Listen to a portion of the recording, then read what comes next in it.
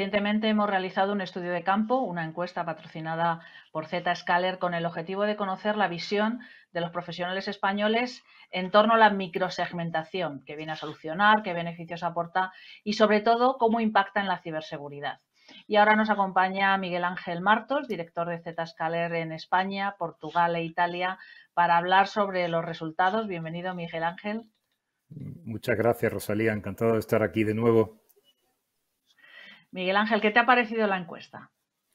O los resultados bueno, en primer lugar, sí, pues me ha parecido muy interesante. Lo primero, eh, agradezco muchísimo a los que han respondido, porque yo creo que de verdad ha habido especial interés en responder y dar la, eh, visión de nuestros, de, aquellas personas a las que nos hemos dirigido. Y yo creo que hay ese interés precisamente porque es un tema que preocupa. Si ves el resultado, algunos de los aspectos de la encuesta pues van muy en línea con lo que, con lo que realmente esperábamos ver. Por un lado, el hecho de que la microsegmentación se considere como parte de una estrategia mucho más amplia en estas organizaciones a las que le hemos preguntado en cuanto a la adopción de técnicas de cero trust. Eh, el hecho de que la microsegmentación sea algo que parece ser que activamente se plantea, hablábamos de un 80% o más de, de, respuestas positivas en cuanto a la adopción futura a corto y medio plazo de técnicas de microsegmentación. Y se mencionan también algunos desafíos que ya, preveíamos que, podrían ocurrir en cuanto a, qué a, cómo se podrían adoptar esas técnicas. O sea que creo que los resultados van muy en línea con lo que esperábamos. Cero Trust es una adopción global y dentro de esa política de adopción de Cero Trust, la microsegmentación es un elemento clave para proteger las cargas de trabajo en la nube y todas las aplicaciones que en este momento salen fuera de nuestro data center y nuestro perímetro.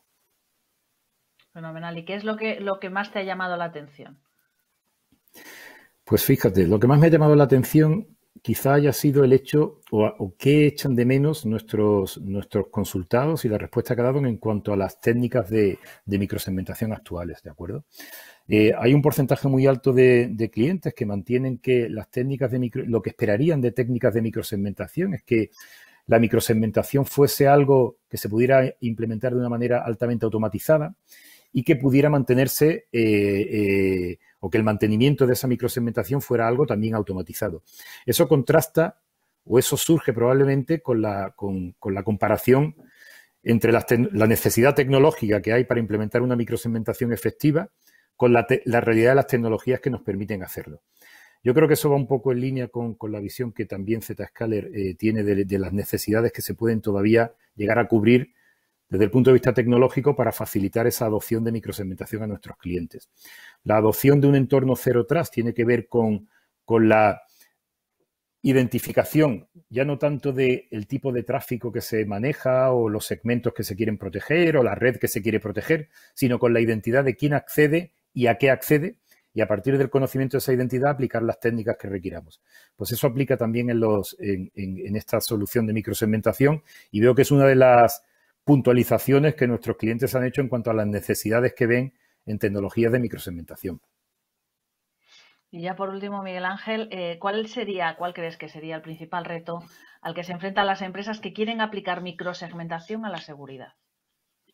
Pues mira, se mencionan en la encuesta al menos tres. Primero, la adopción clara y efectiva dentro de un entorno de, una estrategia cero tras, ¿de acuerdo? Estos, nuestros clientes o aquellos que, que desean adoptar este tipo de soluciones tienen que tener una estrategia de de confianza cero dentro de sus organizaciones que aplica no solo a usuarios, sino también a dispositivos, cargas de trabajo, aplicaciones, etcétera.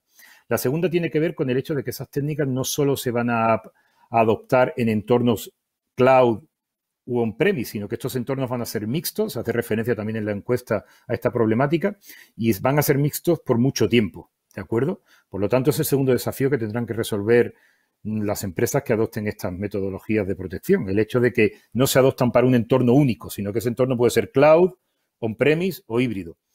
Y el tercero, y yo creo que es uno de los más relevantes, tiene que ver con aquello que acabo de decir hace un momento. El hecho de que las técnicas de microsegmentación tienen que ser altamente automatizadas y altamente y con una, con una técnica fácil para mantenerse activas. Piensa que el entorno de de trabajo al que se enfrentan nuestros clientes tiene cada vez es más dinámico, las técnicas de desarrollo en cloud son muy dinámicas y esto hace que cambie continuamente el entorno que debamos de proteger. De manera que cualquier técnica de microsegmentación que actúe con los mecanismos convencionales, es decir, analizar el tráfico, el segmento de red y ver lo que puedo segmentar, pues deja de ser difícilmente viable, difícilmente manejable y muy difícil de operar. Por lo tanto, nuestros clientes exigen pues, unas técnicas de microsegmentación y adhesión mucho más automatizadas.